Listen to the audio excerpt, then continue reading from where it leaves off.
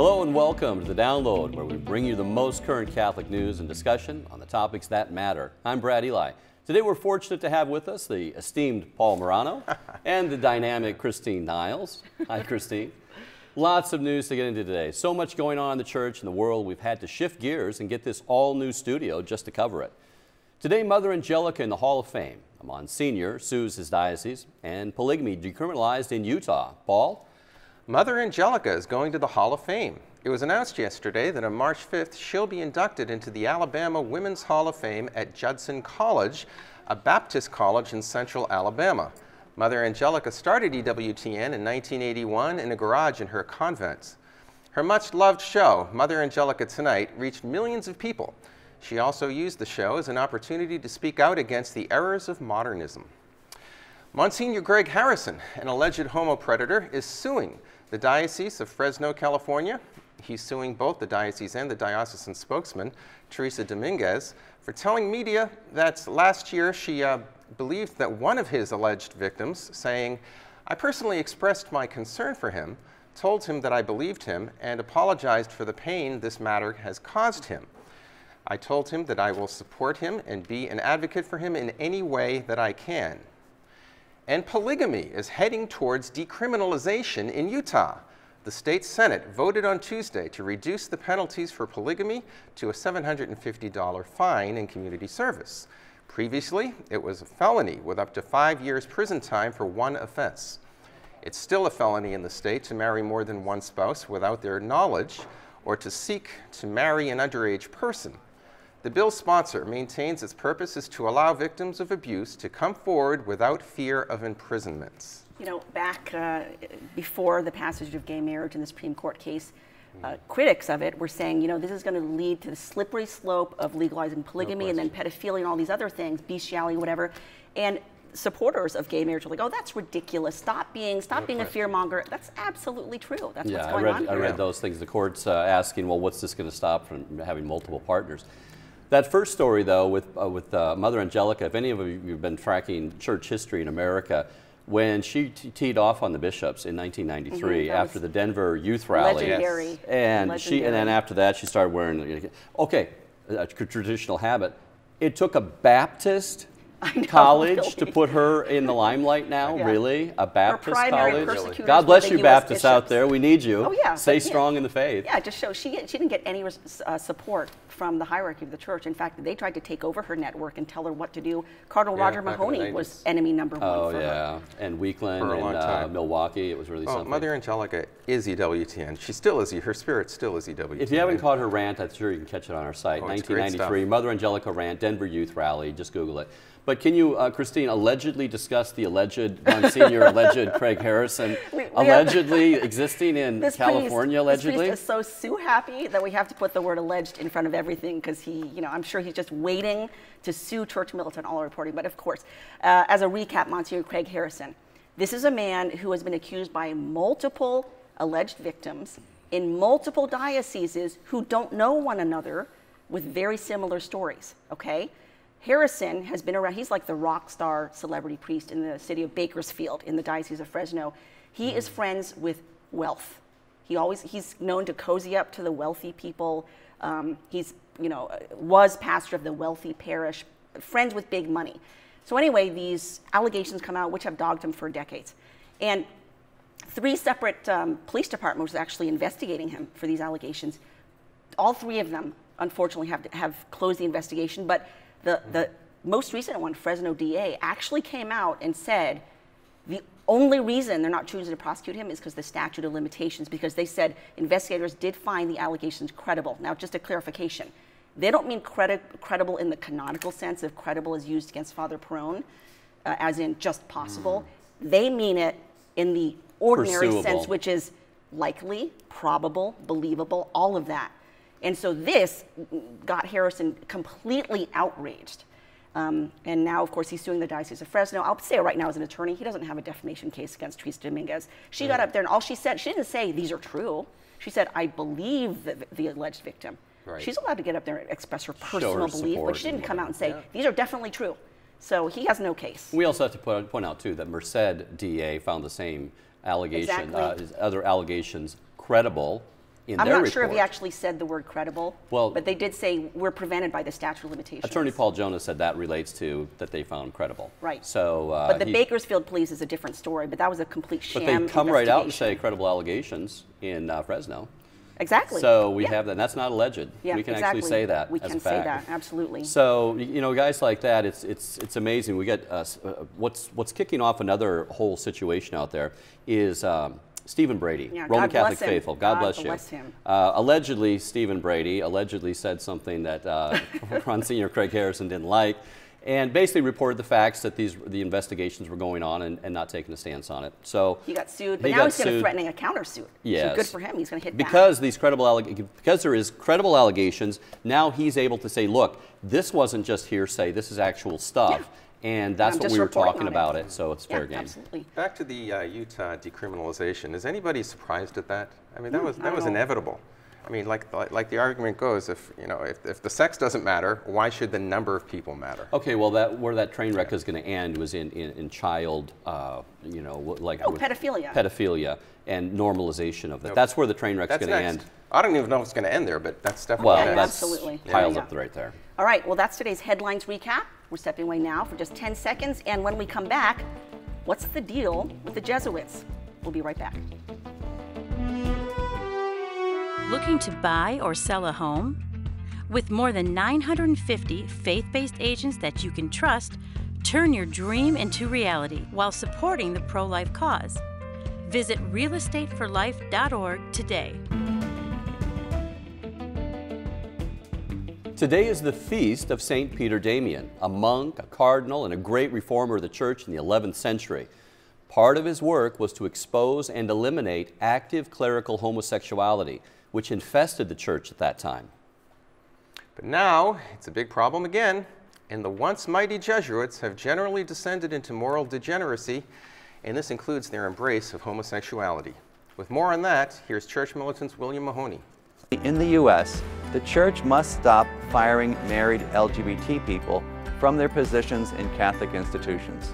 Former Jesuit seminarian Ben Brenkert has described Jesuits frequenting gay bars, such as the Splash Bar in New York, Jesuits who have left the order as a couple, and Jesuits with memberships to homosexual online dating sites.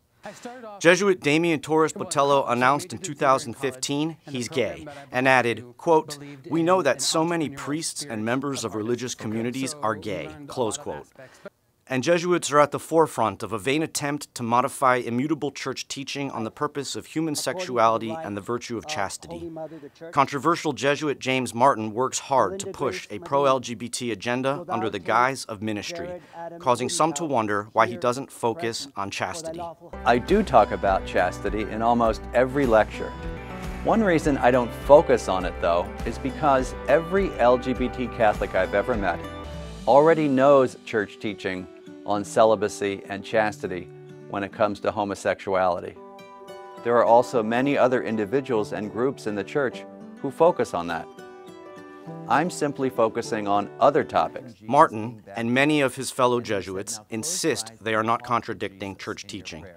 But in October, Martin questioned the inerrancy of the Bible in support of his pro LGBT preoccupation, suggesting the Bible could be wrong about homosexuality. Quote, the issue is precisely whether the biblical judgment is correct. End quote. Martin's dabbling in heresy caused Bishop Joseph Strickland to correct the Jesuit on social media, saying, quote, I know you have lots of support, but you are challenging the deposit of faith that I promised to defend. As a bishop, I'll keep defending it. End quote. William Mahoney, Church Militant, Detroit.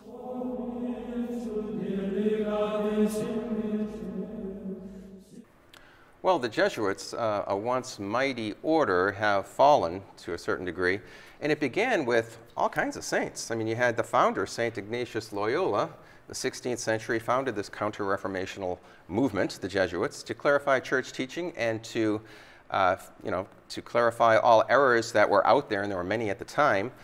Uh, known for his spiritual exercises, if anybody's done a Cursillo, they know what that's all about.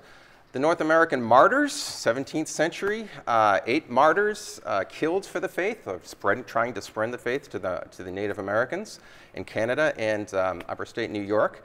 You had St. Francis Xavier, who went to India, and that's why there's so many Indian Catholics today, and he went all the way to, uh, to Japan and the, and the Far East. You had uh, Sir Edmund, um, Sir Edmund Campion, who was, uh, went to England, and he was um, eventually martyred there under the queenship of uh, Elizabeth. He was hanged.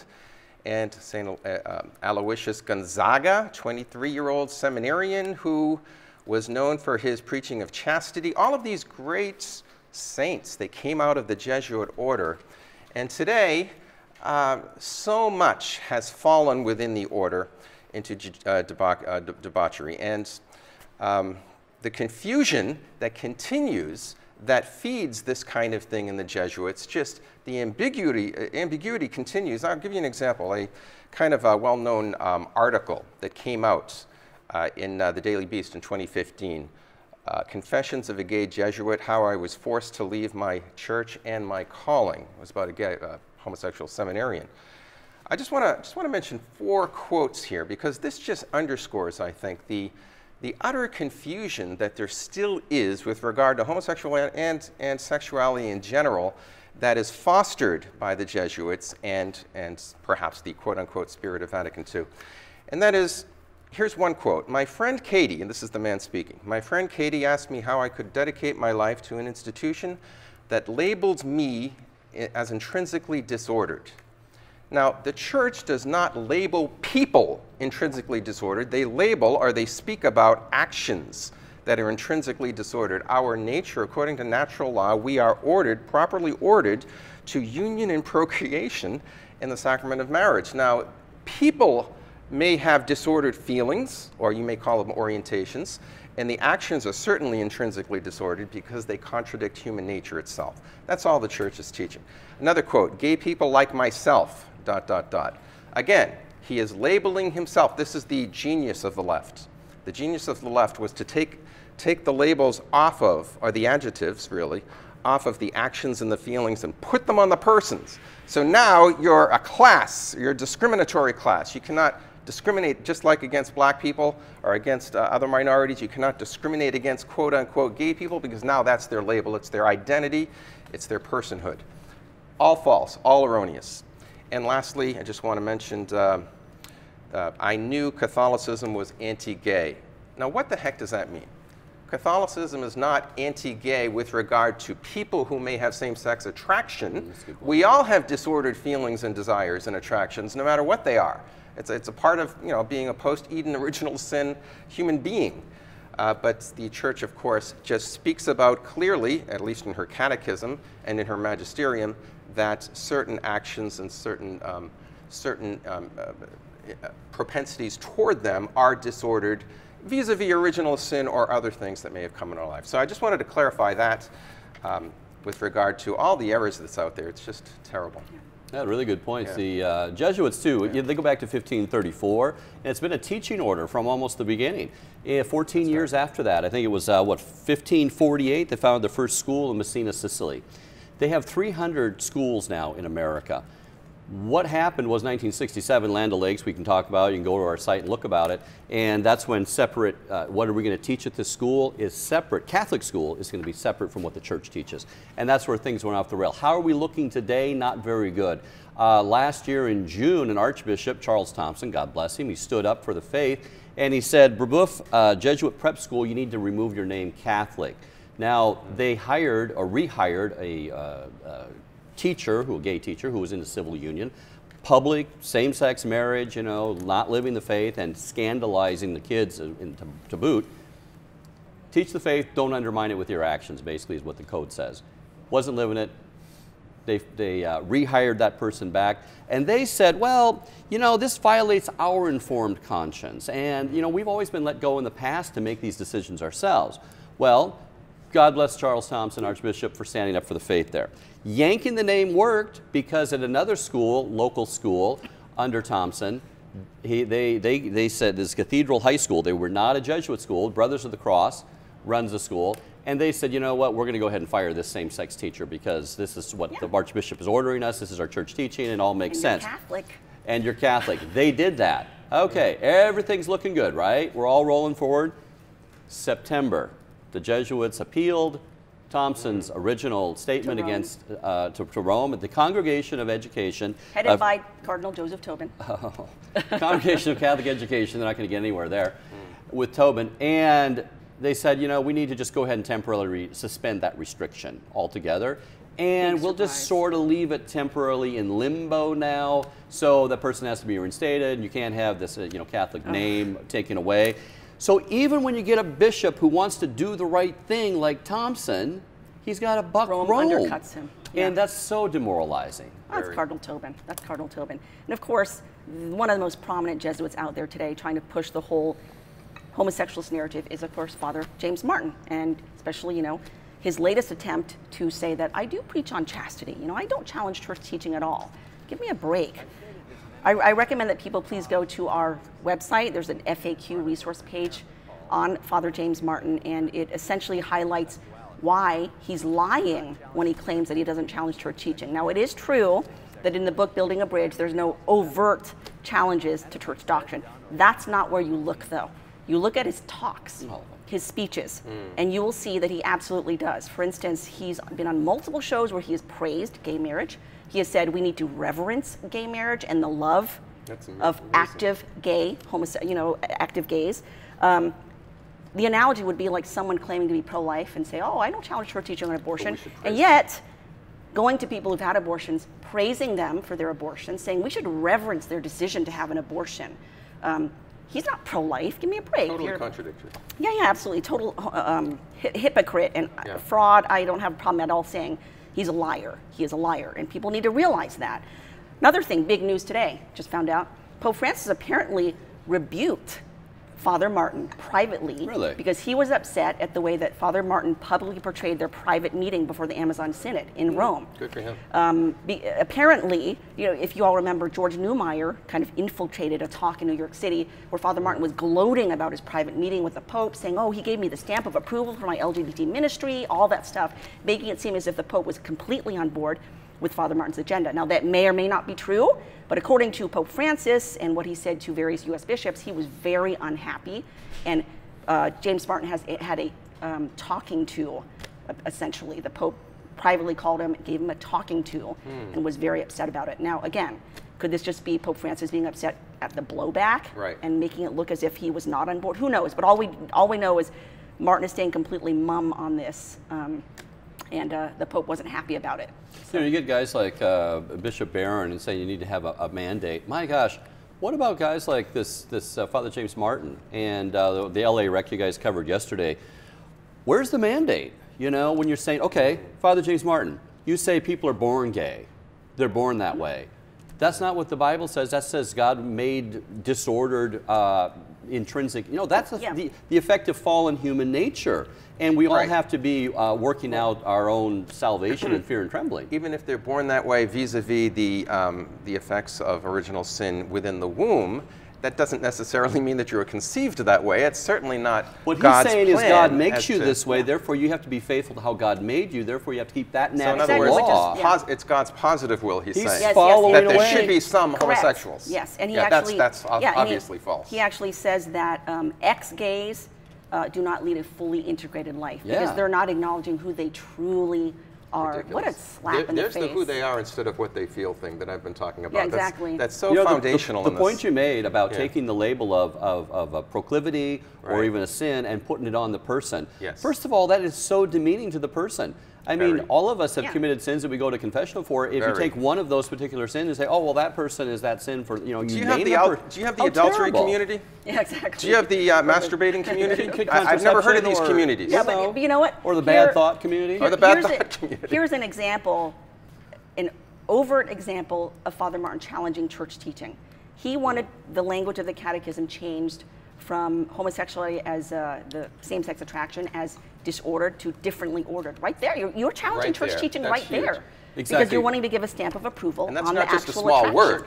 That, Yeah. that, that speaks about what homosexuality is. He's saying the Bible got it wrong, the catechism got it wrong, but I'm not challenging any church teaching. no, Yeah. no. Okay, course we got a problem there. Yeah. and, and, you know, really um, amazing. this is what Archbishop Vigano came out and said is the fundamental problem in the church today is the homosexual network strangling the church, Yes. the corrupt gay mafia, his words.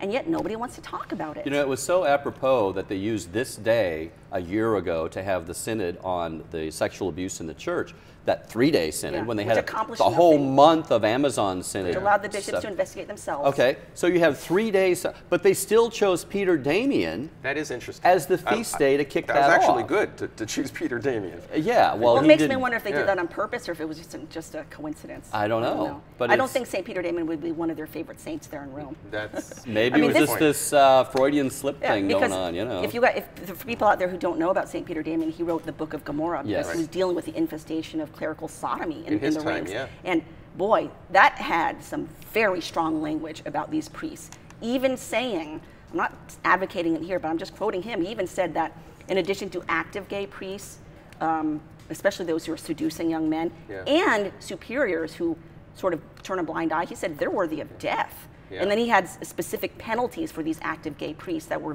very severe. You know, and Yeah. he was pushing on the Pope too to act. He had to push on the Pope to act. So, you know, that's there's a precedent Yeah, there. absolutely. Speaking of documents, I, we would be remiss if we, ju- if we did not speak about the documents that are official Vatican teaching, um, just, just underscored by Pope Benedict XVI in 2005, that people, men with a homosexual pro- pro- proclivity, should not be ordained to the priesthood. Mm-hmm. And that is being totally ignored. That is where this has to Yeah, start. absolutely. Well, that finishes our discussion on the Jesuits. Hang tight for just a moment. When we come back, our Friday Person of the Week. We'll be right back. battlefield is about the truth and lies. Because truth at the end of the day is Jesus Christ.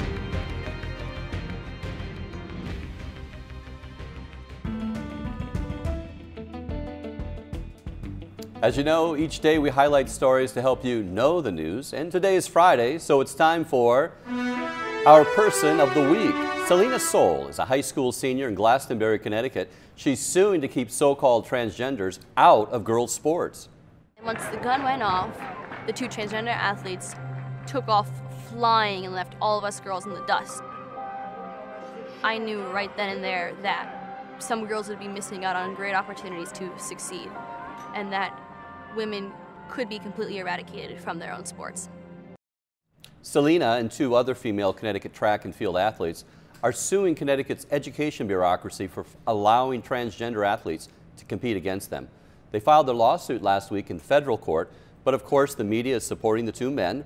And Democratic presidential candidate Elizabeth Warren came out Thursday against a proposed bill in Arizona limiting girls' sports to actual girls. This is so unjust, so unfair. I mean, it's so obvious. It's, it's a shame we even have to have a discussion about it. But Christine, you, you were saying about how, um, regardless of the hormones they take, regardless of their whatever they do in order to become quote unquote transgendered, they're still men. They still have that advantage. Yeah, there, there, look, there are fundamental biological differences between male and female that cannot ever be changed no matter how much you train, no matter how much uh, testosterone suppressing, you know, whatever uh, hormones you take. For instance, there's the difference between the ratio of the, the hip width and your femur, the length of your femur bone Right. in men and women, which actually changes the center of gravity in your body, which actually changes how you run, how you compete, how you do all sorts of sports between men and women.